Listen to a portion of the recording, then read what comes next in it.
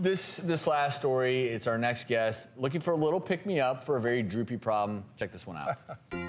Over the last six to eight years, I started seeing drastic changes in my face. When I look in the mirror, I would see this person that was so much older than how I felt inside. And that bothered me. I noticed extra lines I never used to have. Cheekbones are dropping, eyebrows are dropping, bagginess around my eyes, the jowls, and my neck. I'm a master esthetician, and so I see the aging faces all of the time. But I was struck by how quickly and significantly my changes were happening. I take a lot of supplements, I take all of my fish oil, try to drink a lot of water, try to have reduced sodium in my diet. I use all professional products on my skin. I do facials, but they aren't correcting the issues. I don't want my picture taken anymore, and that used to never bother me at all. I really never thought I would be that person. I've been engaged for a while, and my fiance and I are planning to get married this summer. And I want a lot of pictures of that day for memory, and I want to look at that and say, wow, you looked your best that day. It would make me really happy if I could tighten things up, lift the features that I'm not having fun with anymore. Andy is back in our procedure room with board certified facial plastic surgeon, Dr. Kian Karimi and he's going to be doing a new procedure called the Nova Lift. So, Andy, first off, are you getting excited?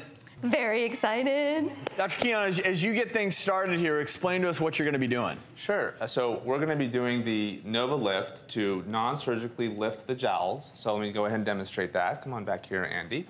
So these are uh, dissolvable threads. I'll go into prep, please. To um, lift the jowls in a uh, non-surgical fashion. So this is perfect for someone who either doesn't want surgery or is not quite ready for surgery. Uh, it can be done right in the office. She's not feeling anything, by the way, because she is numbed already. So we can just make a small little port there.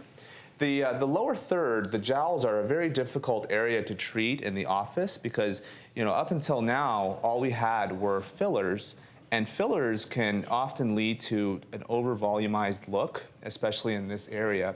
So I'm just coming right under the skin here. Are you okay there, Andy? Just fine. Wonderful.